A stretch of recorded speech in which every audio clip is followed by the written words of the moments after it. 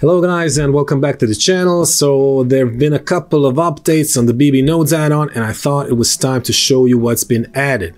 So for those of you who are not familiar with BB Nodes, I advise you to go check out the first video about the add-on and I'll leave the link for it in the description. But to put it in words, it's an add-on that when installed, it gives you access to now more than 100 custom nodes that make working with geometry nodes in Blender much faster, easier, and more fun.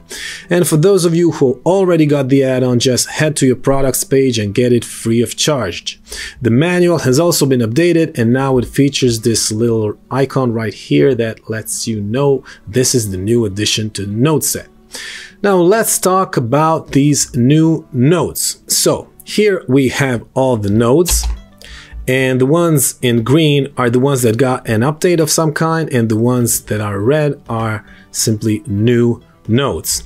And um, I'm going to show you all of them real soon. These are the nodes we're going to talk about today and uh, these two green ones got a pretty big update so we're gonna cover them also. And let's start right away with this bend node which is the old node that you access from this menu bb nodes and under modifiers bend and here it is. So uh, this is simple geometry and let's just plug in the bend node. And as you can see this is what happens. So what we got here is a gizmo you can turn it off or on. You can scale it a bit so you can see it better. And what this gizmo shows you, it shows you the plane of the reference. So this is like the plane where everything over this plane and it's uh, this upper part is shown with this like line over here. So this is where it's over and under doesn't have this line and these two arrows show the direction of the bend everything over this plane will get bent and under it will not. But still we have this checkbox bend both sides where it will bend both ways. Here you control the angle of the bend. And these two vectors right here control the position, so the center of the bend. So you can move the center and you can see what happens in real time. And you can change the direction of the plane. So where the direction where the plane is facing. So practically this vector right here, you can change it. So now it faces that direction over there. Let's just keep it at Z. And we got the sweep angle, which is the angle that rotates this plane. As you can see now, it's bending like this. Pretty simple. So now let's just try something. Angle of 180. We can bend both ways.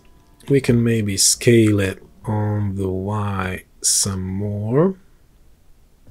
And then we can add another bend node. But first we need to remember to hide this gizmo of the first one.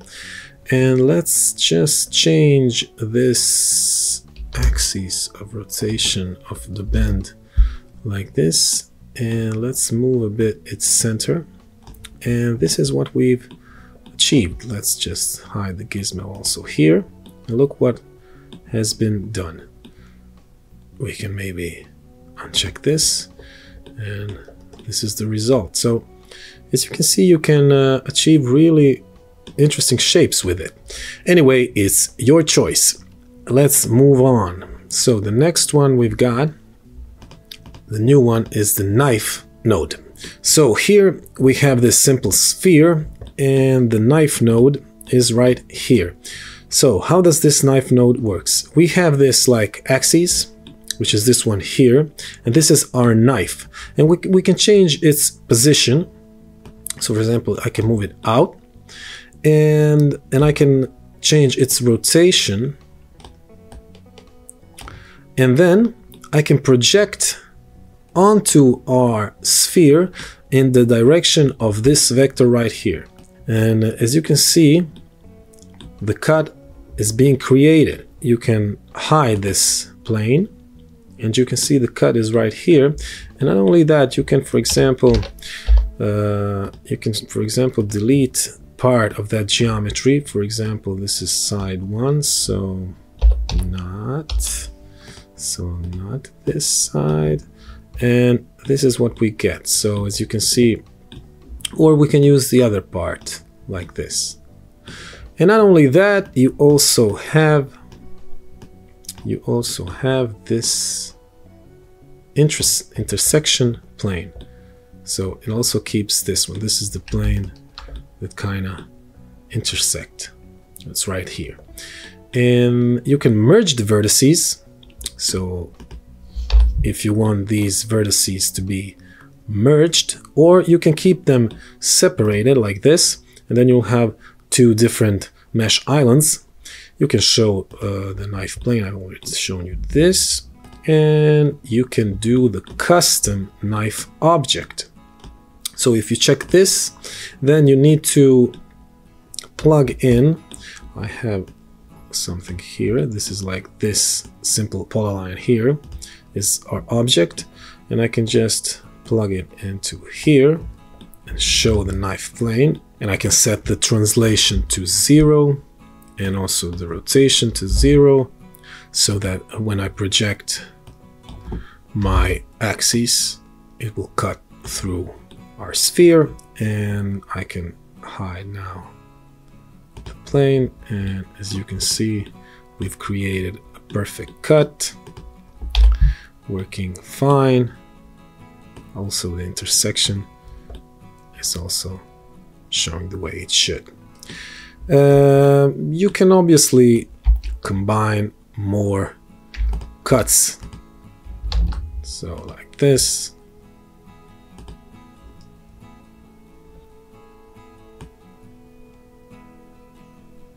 and you can see that we created more than one cut. Okay let's move on.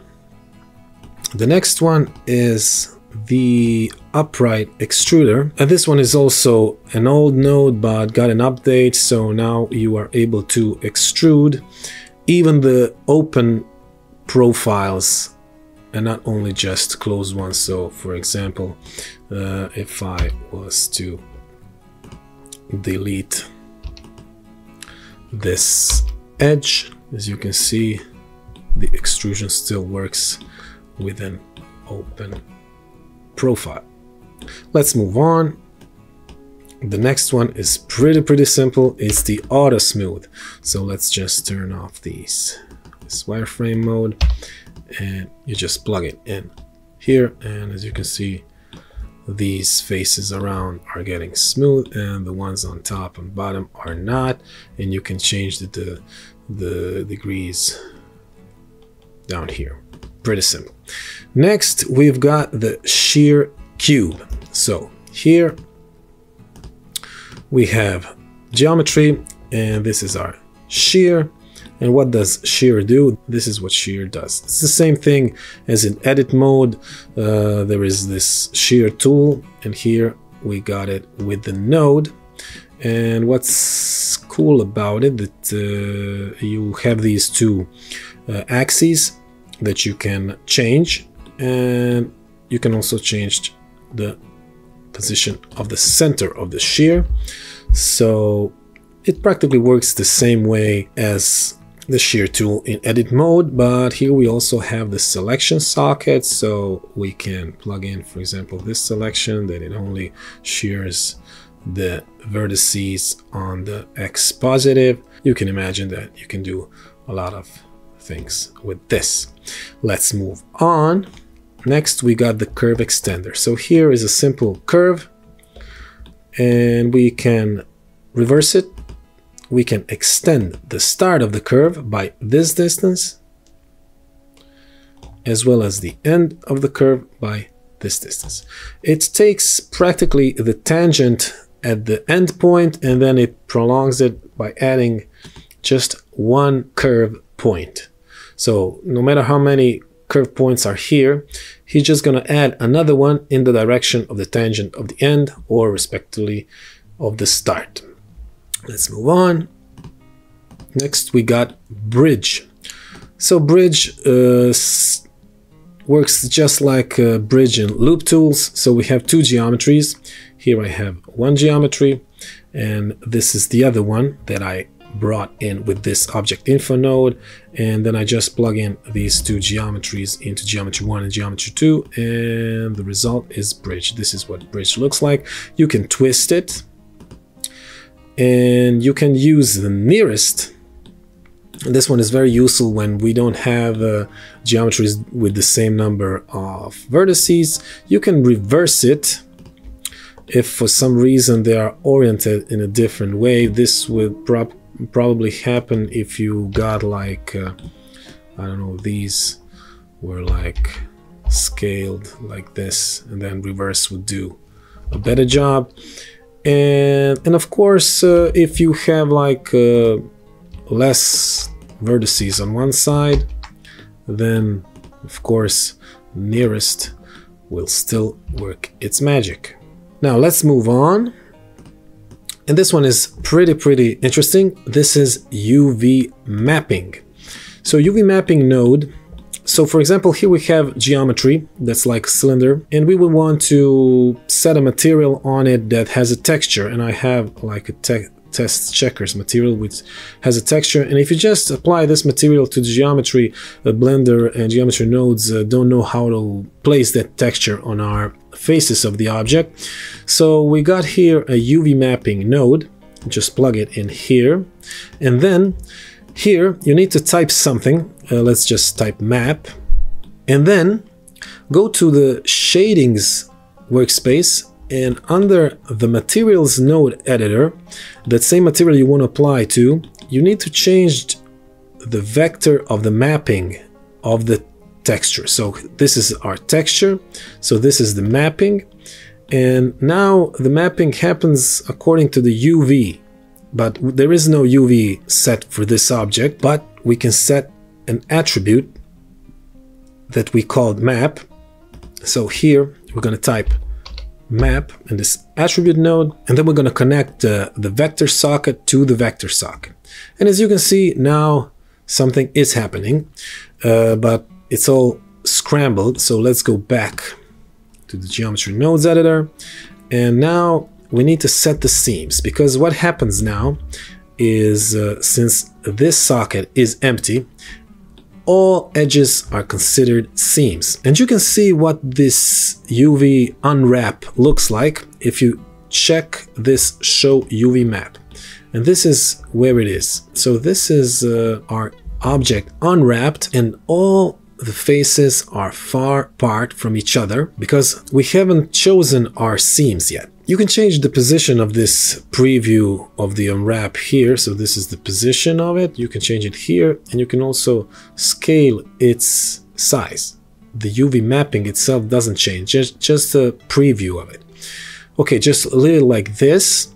And now we need to set the seams. So how are we going to set the seams? So first we need to uh, set this upper part as a seam and this lower part as a seam and that's pretty simple. We just want the position of it and then everything over this line and everything under this line. So we just use the not equal as the Z position. So Z position here is 1 and here is minus 1 and we're just going to set it to not equal to 0 with an epsilon. So everything over 0.5 and everything under 0.5 will be selected. So let's plug this in here. And now what happens? Okay we got our first seams. As you can see now these two got separated this one and this one and they are mapped correctly. But all this thing in the middle is really messed up. So how are we gonna how are we gonna select one of these edges? And now uh, we're going to use another node. So this one is also an old node from the BB Nodes add-on. It's called Display Attributes, and I'm going to plug it in here to see the indices. And now I see all the indices. And now I'm going to use another new node which is called Edge Path Selection. And what this node does, you set two index values and then it chooses the shortest path between two indices and it returns a selection of them. So here I've already chosen the index number 6, index number 14, and you can we can find them somewhere here. Where are they? So 14 is here, and this one 6 is down there. So this selection is going to return all the indices, the shortest path from 14 to 6. So these edges right here. And then we need to also keep in mind this selection up here. We use that with the Boolean node or so or this one or this one and then it seems like it's working fine. Let's just mute this. We don't need it anymore. And and now we see that our cylinder has been mapped correctly and it looks really nice so that's the UV mapping node let's move on this one is pretty simple. This one is the reverse field. So here we have, we just plug in a field. We're going to plug in an index and it returns a reverse of that field. So integer like this, let's just call it, I don't know, rev. And now here we have this rev values that are reverse of the index values. So 0, 1, 2, 3, 7, and 0 in the, the other direction. Pretty simple. And the next one is another simple one. It's quad. So uh, this is a simple generator. So we just plug it in here and it creates a quad. You just set the points, four points of the quad. You created a quad by defining four points that create it. Nothing to it. And you can switch the position of v2 and v3 if they're in the wrong order but this is not the case from this example okay let's move on just two more so the edge path nodes we have uh, two of them I already shown you the edge path selection but here we have the same thing but it creates it doesn't output a selection but it outputs a curve so now we have a bunch of vertices here on this grid. And if you want to see the indices, just plug in the display attribute and and then we we can choose a path or uh, two of them to connect. And so I've already done this. So I've chosen index number six and index number 22 and it returned the shortest path between these two indices. 22, and 6. It returns a curve between them. The other edge path selection node is the one already shown you. It's the one that returns a selection field. So I just deleted the shortest path between 6 and 22, which was that one, and that's what happened here. And the last one that we're going to talk about today is this switches node. Uh, there are actually three of them. This is very, very simple. So we got a switch here from 1 to 20 and depending on this switch it will return one of these 20 options. We got vector type switch, we got a float type switch and a material type switch I'm going to show you. So this is our cube, we're just going to set a material uh, from this node. And if the switch is 1 then it would return a blue material. If uh, the switch is 2 green and so on and so on as you can see.